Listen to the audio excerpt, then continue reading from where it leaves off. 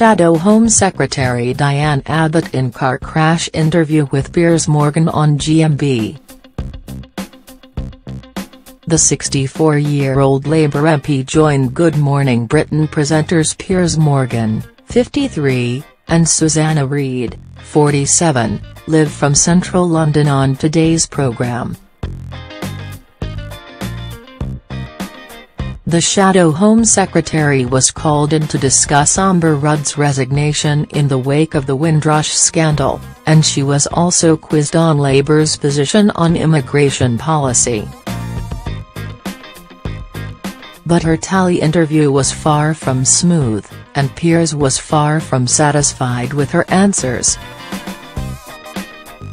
He started, I can't work out what your view is. Would you want to see people of that category and give an amnesty? Diane retorted, what I'm saying to you, is the Immigration and National Department is not fit for purpose. I don't blame the staff but it is the department that needs reviewing and reorganizing. Piers snapped, with respect that's not an answer to my question. What is Labour's policy?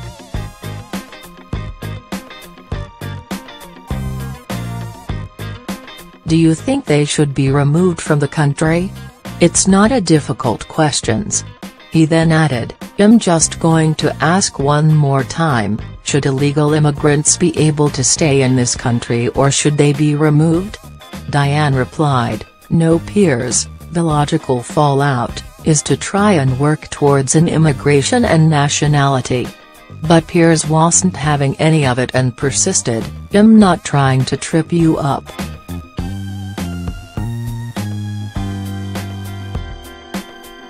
I'm just trying to work out what Labour's view of illegal immigrants is, whether they should stay in the country or whether they should leave. I don't know why you're finding it hard to answer the question.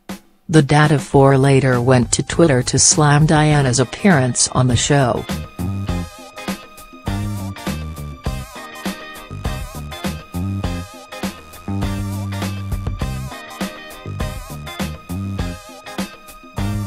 I'm just going to ask one more time, should illegal immigrants be able to stay in this country or should they be removed? Piers Morgan he wrote to his 6.51 million followers, it is so odd that she would find my question unreasonable and impossible to answer. She's the Shadow Home Secretary. Social media was sent into a frenzy during the heated debate and viewers were quick to comment on the debacle. One person slammed, why can't Diane Abbott answer a question? Cannot abide that woman. Diane Abbott has no shame. Can hardly string a sentence together, added another. A third laughed, Piers Morgan is expecting a direct, intelligent response from Diane Abbott. Good luck with that. Bloody hell. Diane Abbott in another car crash interview. Noted a fourth.